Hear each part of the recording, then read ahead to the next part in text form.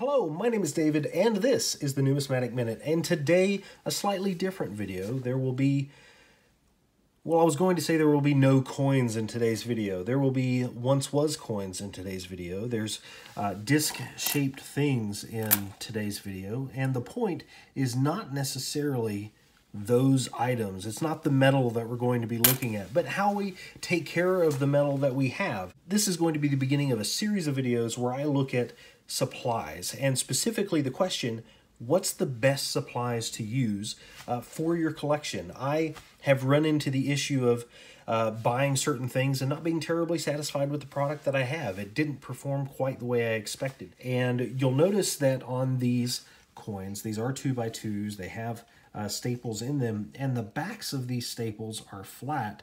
Uh, that is not because the stapler itself managed to do that, um, but because I went behind and I'd go and I'd take my coin. I don't know that I have a, a penny-sized coin in here. We'll, we'll put this transit token put this transit token in here and we'll fold it up just to, if anybody has a question of what I'm talking about, I think I'm being fairly clear.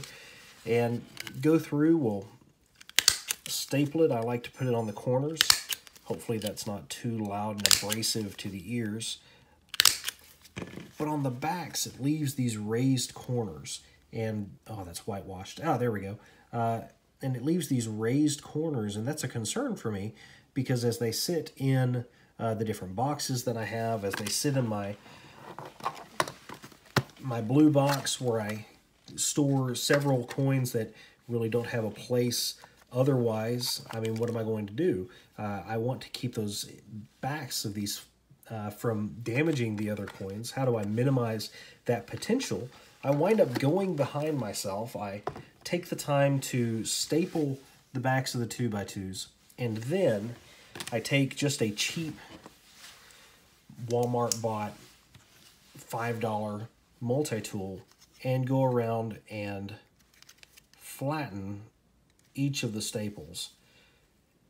And so you go through and you do four staples for each corner, then you go around and you do two uh, presses minimum. You might do uh, four for each corner to ensure that the staples are nice and flat. And by the time you've done that to 32, I believe that is, Indian cents, it really starts to be a bore. It really starts to slow you down, and and it can be a labor of love for the hobby. Certainly not something that's terribly enjoyable. So what do you do? The website that I went to that I found fairly recently, airtites.com, has this on their website. Uh, and I'm really interested in putting this out today because while I was on Facebook, that somebody was showing a flat clinch stapler that was purchased at Walmart, a $30 flat clinch stapler. $30 is a steep uh, price for me to, to, to invest in a stapler, especially when I've been going with just one of these small ones, something portable, something I can throw in a bag, uh, or what I have, a range bag that's kind of kitted out for uh, for coin use. I have a range bag to take to the firing range with me. I also have a range bag for, uh, for my coin stuff. So I want something that I can go through, I can staple these flips without having to go behind my work and really spend a lot of time with you know one of these one of these multi-tools. That's where this comes in. This is the Max Stapler HD 10FL flat clinch. We're going to look at that now. So we'll go ahead and we'll get that popped open and red was the only color that airtites.com happened to offer, uh, and they have been, what little contact that I've had other than my purchase, uh, my experience has been fantastic. I will speak on my experience with them before all of this is over, before all of the reviews are over, because I had a very, uh, I had a request that was fairly obnoxious, and they complied 100%. Uh, I am very satisfied with my purchase with them. I paid full price for all of this, by the way, so not a, not a purchased review. But so far, from what I'm seeing, this is a much more stout stapler than what I thought it was, because I really was expecting something along these lines. But I believe what we see, what we're looking at, is going to be the leverage that's built into this to make it easier to for the staple, and that was significantly easier in and of itself. But there was no stapler in it. There was no staple, rather, in the stapler. So what do we do? We got to put staples in. Mini staples number 10 5M. I don't know why, but they had these staples. They were fairly inexpensive for 5,000 of them. Why not? I'll go ahead and throw that in the cart as well. So we've got some staples. Let's go ahead and give it a shot. Is this not the most exciting thing you've seen on YouTube for a while? What I do want to say real quick is the length of that strip of staples. Uh, fairly substantial compared to using these, which I've been putting into uh, my other staplers. So not a whole lot. You're getting far more staples, at least, per strip without having to stop and reload than before. That looks like it might be about double, but the staples are a little bit different size uh, anyway. So excited about that. We'll pop this open. And you just load it by popping the top off just like any other stapler. If you've ever used one, they're, they're all fairly simple and similar and we'll make our first staple. We'll see how easy it goes. Not that stapling is particularly difficult, but that was fairly easy. And they are fairly flat. Let me see if I can get one. This is going to be uh, this is going to be fairly difficult, I'm sure, to to manage to get on camera but that looks like it's fairly flat as far as its as far as its fold over on the staple. Let's compare that to one of the normal staples that I've been using and having to fold over. It's quite a bit different. So let's go ahead and put it to the uh, let's put it to the test. Let's put a coin in there, or like I said, I don't really have coins anymore. What I had planned on doing was I had planned on using these elongated flips that I've purchased from Airtites as well, and flipping up a few of my tokens. We're going to go with our first elongated cent, and we'll go ahead and look at it.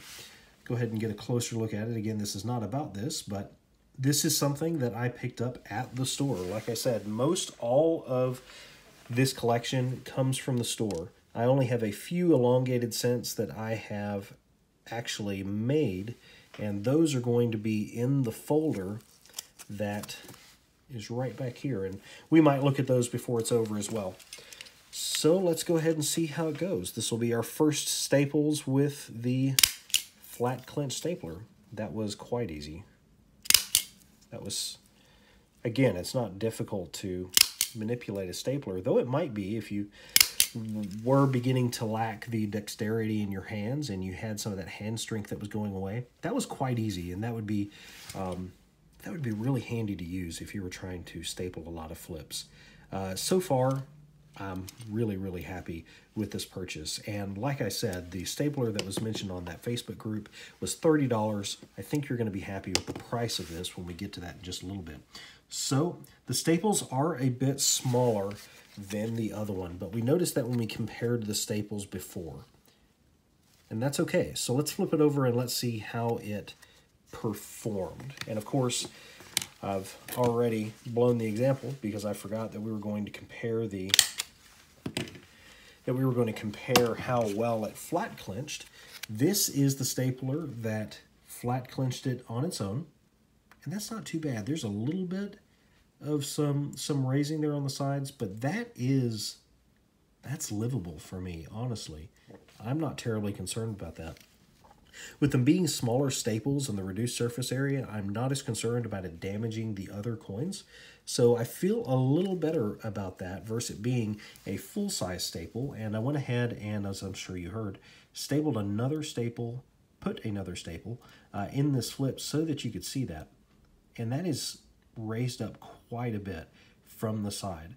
One of the added benefits to these is it's also going to help you fit more flips side by side uh, because if they are flat, you can get those two by twos to sit very close to each other. But if it's not, you're going to wind up losing space.